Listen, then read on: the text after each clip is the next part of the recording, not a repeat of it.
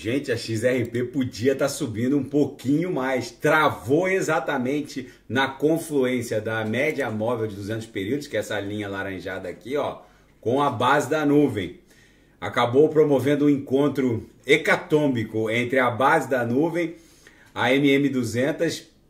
A gente chegou a fazer um pavio que ameaçou incursionar para dentro da nuvem, mas ia encontrar a linha superior do canal de Keltner. Mas o fato é que as três linhas do canal agora emborcaram para cima. Na projeção, a nebulosidade avermelhada está dando aso à criação de uma bela nebulosidade esverdeada. Se a gente romper esses topos todos aqui no patamar de 0,53, 0,54, a próxima parada é a, a congestão subsequente, que, antece, que foi à beira do abismo e antecedeu essa mega queda, cuja mínima bateu em 17 de agosto, 0,422. É para lá que a gente vai para a base dessa congestão em 0,60 a 0,61. Aqui deve formar uma onda 2 e numa onda 3 buscar a congestão subsequente, lá em 0,70. Muito interessante a movimentação da XRP, daqui a pouco eu volto com Binance Coin que explodiu. Ontem eu dei um sinal a 213, foi lucro no bolso dos assinantes.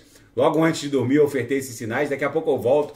Vou fazer BNB, KSM que passou de 20 dólares Dot, Avax, Solana, que está descontrolada. E quem quiser sugerir, é só colocar nas mensagens abaixo. Grande abraço, até daqui a pouco.